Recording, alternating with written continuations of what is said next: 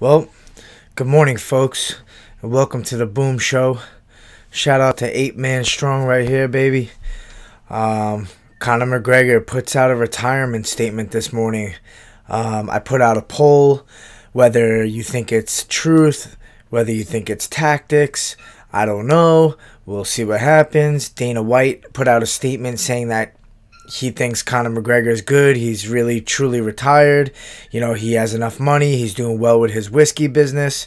So we'll see. I think that's true. I think Conor does not have to fight ever again and he could be well off into the sunset fine.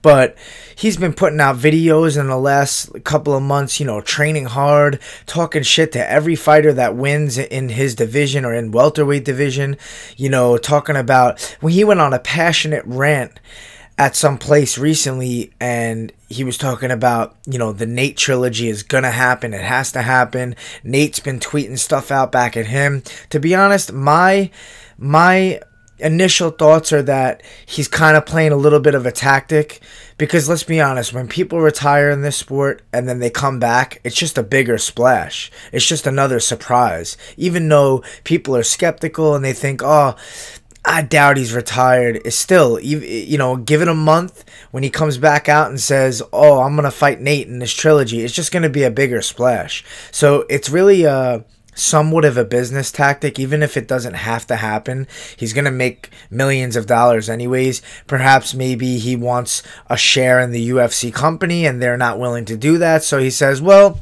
Then I'm retired, you know, and and that makes them think twice because they want Conor to fight again. It's only more money for the business.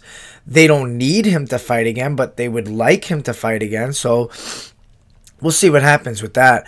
Uh, I truly think that Nate and him had been in somewhat of cahoots, maybe not talked to each other, but understood the business when they first were fighting and how to work things out and how to you know play tug of war with the with the business side of things and, and and get some more leverage and some more negotiation power and i think that this could be another factor that's playing into this situation as well um I wouldn't be surprised if in the next month or two we hear something different about Conor McGregor.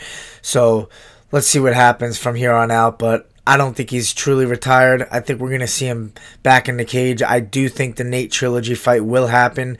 I don't think Nate's going to fight anybody else really unless that happens, unless the UFC offers him the same price point that they would against McGregor, which I don't see happening, but we'll see, man.